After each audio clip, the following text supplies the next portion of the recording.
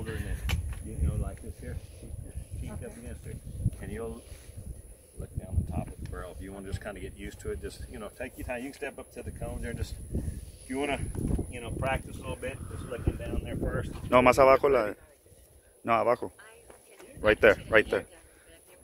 You feel comfortable with your stance or?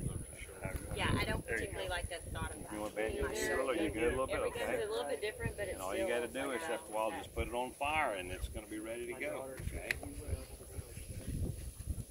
you ready? Just let me pull.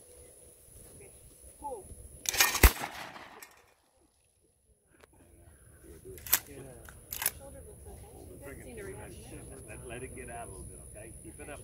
Keep it up. There you go. Yeah. First time I ever shot a gun. It's not, I mean, it's probably a year or two Hey, good aim. Oh my god. Ah man, ah. I'm not gonna get in trouble.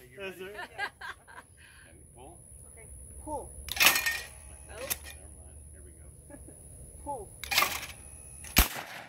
Here we go. Wow. Oh my god. Natural. Natural, man. ah. Put it on safe. Makes my day. Nat